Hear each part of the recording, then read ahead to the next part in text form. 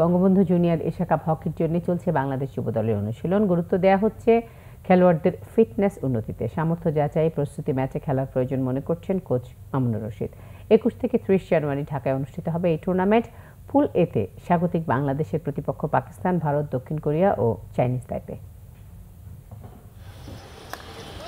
দুই সালে সর্বশেষ এশিয়ান গেমসে খেলার পর দুই বছর আন্তর্জাতিক হকির বাইরে বাংলাদেশ দল নির্ধারিত কোনো সূচি না থাকায় ফিটনেস, ম্যাচ টেম্পারমেন্ট সব কিছুতেই চরম ঘাটতি দেখা দেয় হকি খেলোয়াড়দের। তার উপর করোনায় গত সাত মাস অনুশীলন থেকেও বিরত থাকতে হয় তাদের। তবে আসার কথা, আবারও মাঠে ফিরেছে হকি।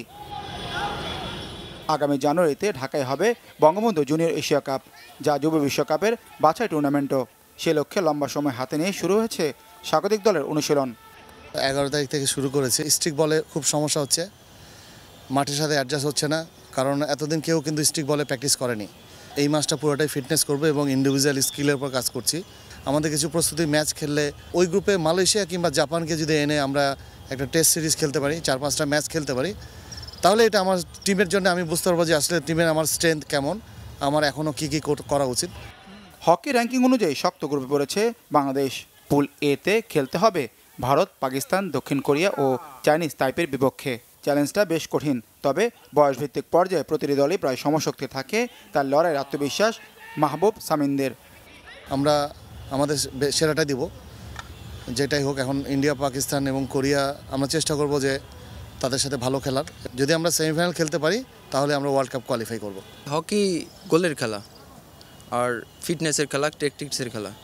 তো সবগুলো টিমের কম্পেয়ার করলে বাংলাদেশ পাকিস্তান জুনিয়র লেভেলে একটু ধরার মতন থাকে। প্র্যাকটিস ম্যাচ খেললে আমাদের জন্য অনেক ভালো। আর এই যে আমরা এখানেও খেলতেছি বাইরের দেশের সাথে খেলতে পারলে এটা আমাদের জন্য অনেক ভালো হতো।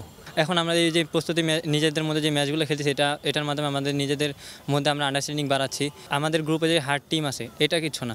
আমরা যদি ভালো খেলে অবশ্যই ইনশাল্লাহ ভালো একটা রেজাল্ট হবে। করোনা ঝুঁকিতে যে কোনো বিদেশি দলকে এনে প্রস্তুতি ম্যাচ খেলা সহজ নয়। এমনকি পর্যাপ্ত খেলোয়াড় সংকট থাকায় সিনিয়র ও জুনিয়র দল ভাগ করে প্রস্তুতিমূলক কোনো সিরিজও খেলা সম্ভব হচ্ছে না। বাংলাদেশের তাই অনুশীলনে নিজেদের মধ্যে ম্যাচ খেলতে হচ্ছে যুব দলকে। মানিক মাহমুদ, বাংলা ভিশন, ঢাকা।